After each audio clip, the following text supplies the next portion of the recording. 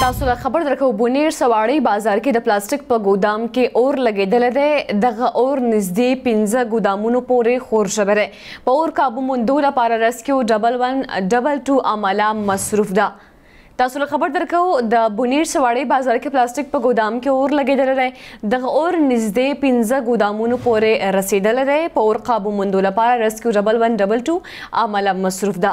تفصیل اخلو د خپل همکار نصیبیار چغرزی نه. جی نصیبیار په اور قابو موندی شوی؟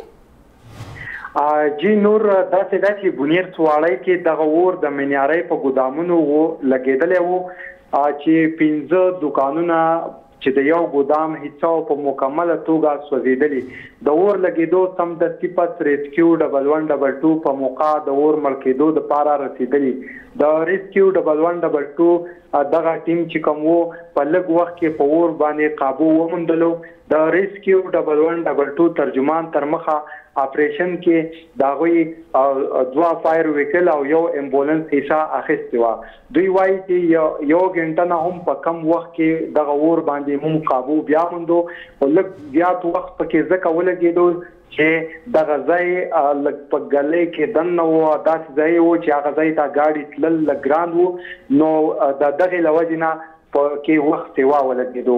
پولیس وايي که چېرې په اور قابو نه وی موندل شوی نو خوشا ډېرو دوکانونو ته به نقصان رسېدلی وو.